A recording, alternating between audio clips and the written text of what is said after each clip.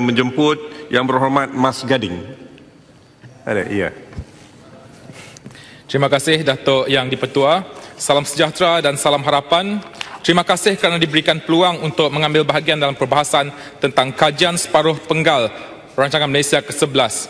Dalam ucapan Perdana Menteri, ah, semasa membentangkan usul mengenai kajian separuh penggal Rancangan Malaysia ke-11, beliau menekankan enam tonggak utama yang menjadi keutamaan serta penekanan baharu. Datuk Yang di-Pertua, dalam tonggak pertama, iaitu mereformasi tabir urus ke arah meningkatkan ketelusan dan kecekapan perkhidmatan awam. Di sini saya ingin menyentuh tentang hubungan kerajaan persekutuan, kerajaan negeri dan kerajaan tempatan. Saya menyambut baik usaha untuk mengembalikan semangat federalisme dan pengagihan kuasa kepada kerajaan negeri. Tinggi harapan masyarakat kita di luar sana agar kerajaan pusat dan kerajaan negeri dapat bekerjasama dengan lebih profesional demi rakyat tetapi apa yang berlaku di luar sana, di Sarawak khususnya, ketua masyarakat dan ketua kaum tidak dibenarkan untuk menyertai atau menghadiri majlis dan program yang bukan dianjurkan oleh kerajaan negeri. Secara tidak langsung, hubungan kerja di antara ketua masyarakat dan ketua kaum dengan ahli parlimen dan adun Pakatan Harapan disekat. Maksudnya peranan ketua masyarakat yang sepatutnya menjadi wakil masyarakat kini dicabul menjadi wakil GPS sahaja. Maka dengan itu, saya mohon mencadangkan agar kerajaan pusat memperkenalkan kaedah ataupun pendekatan baru supaya rukun tetangga di bawah Jabatan Perpaduan Negara boleh diserap sebagai wakil masyarakat yang betul-betul bekerja, berkhidmat mewakili masyarakat, bukan parti politik. Datuk Ini Pertua, dalam tonggak yang sama, Perdana Menteri kita juga menyebut tentang memanfaatkan teknologi terkini bagi mempercepatkan penyampaian perkhidmatan awam. Persoalannya sekarang, adakah kita sudah bersedia dari segi penggunaan teknologi baru dalam perkhidmatan awam?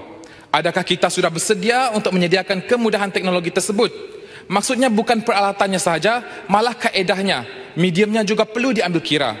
Kita tidak mahu seperti kerajaan yang lepas. Laptop satu Malaysia.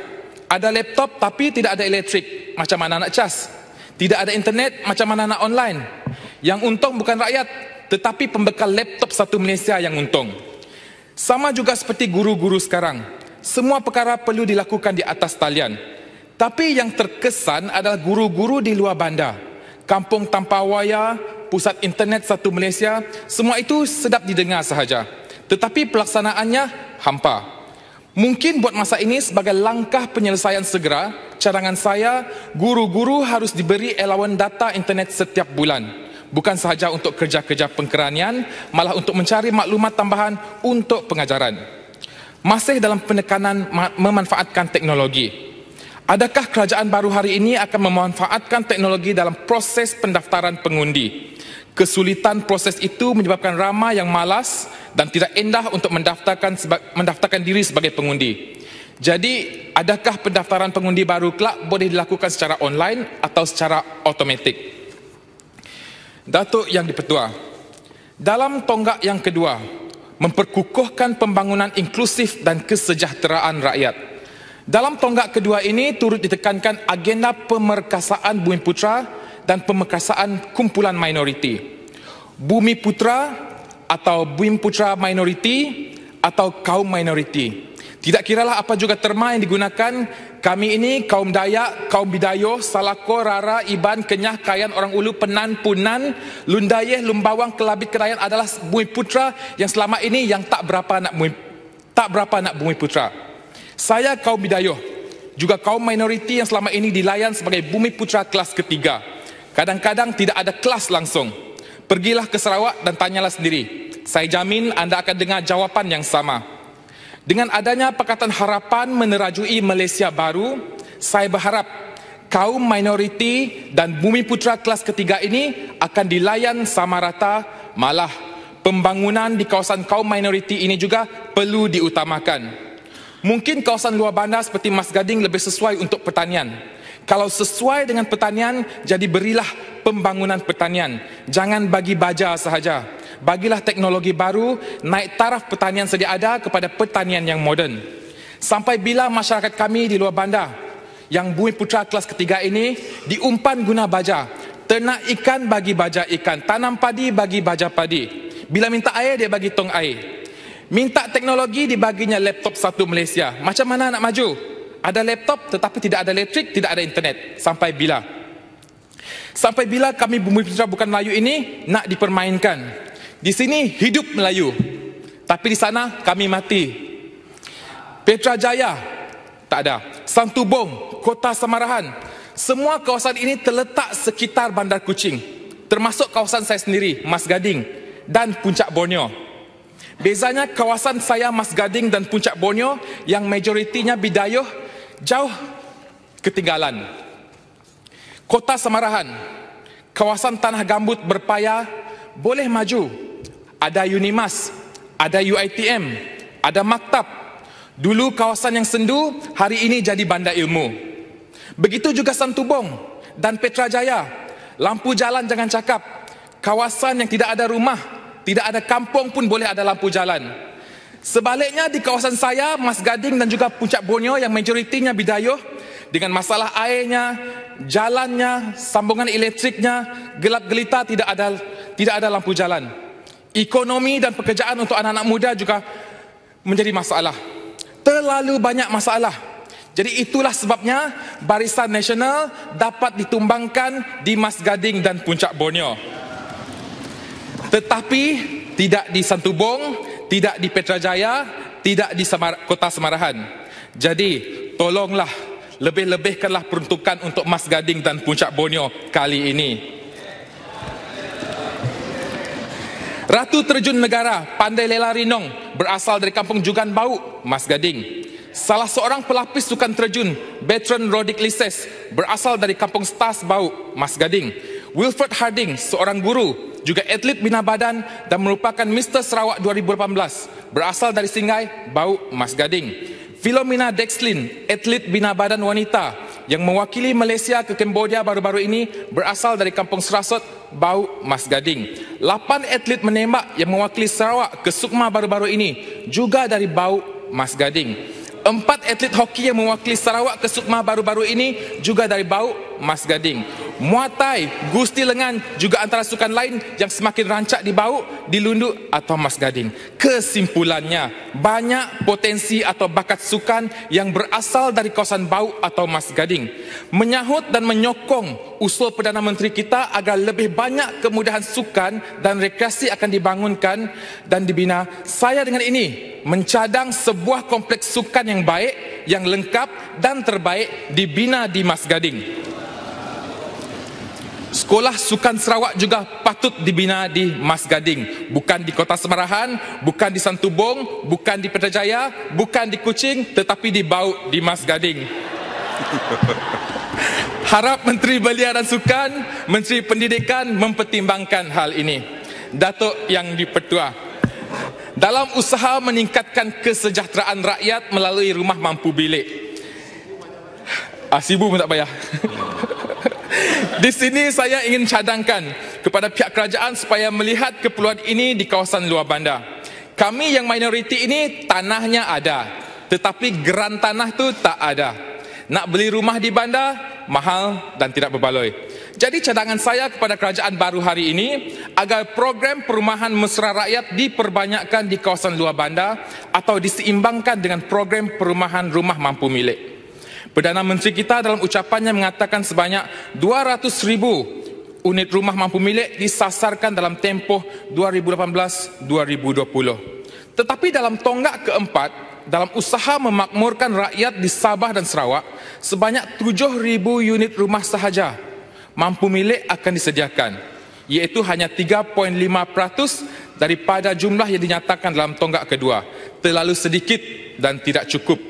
Cadangan saya jumlah 7,000 itu perlu dikaji semula dan perlu ditambah khas untuk kawasan-kawasan di luar bandar Sarawak. Sebab ramai anak muda hari ini memilih untuk bina rumah di kampung atas alasan boleh juga berkebun di hujung minggu atau buat kebun kecil-kecilan di samping untuk jaga tanah takut diambil perintah takut diambil oleh kerajaan katanya kemudahan kesihatan untuk kesejahteraan rakyat sejauh manakah keseriusan kerajaan dalam hari ini, kerajaan kita hari ini dalam melihat aspek ini.